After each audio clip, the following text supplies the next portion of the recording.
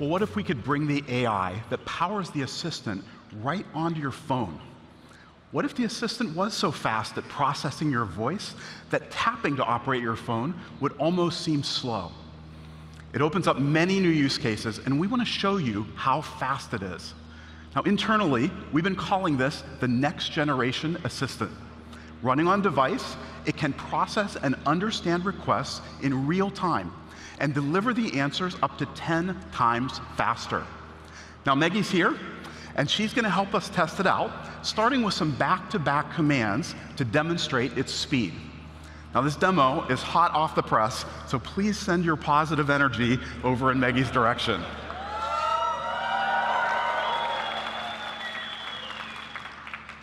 Hey, Google, open calendar, open calculator, open photos, set a timer for 10 minutes.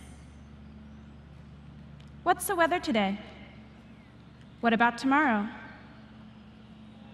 Show me John Legend on Twitter. Get a Lyft ride to my hotel.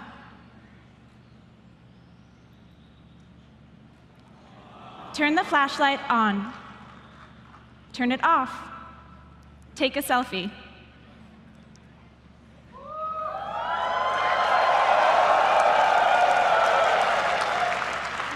All right. Now, as you could see, yeah. That was awesome. Maggie was able to open and navigate apps instantly. Now, you might have also noticed that with continued conversation, she was able to make several requests in a row without having to say, hey, Google, each time. Now, beyond an effortless way to operate your phone, you can start to imagine how the assistant fused into the device could orchestrate tasks across apps. Let's look at another demo where Maggie's chatting with a friend. He's going to ask her about a recent trip. Notice how easy it is for her to respond with her voice and even share a photo.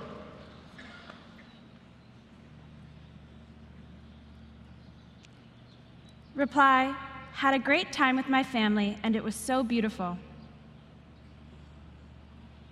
Show me my photos from Yellowstone. The ones with animals. Send it to Justin. All right. Yeah.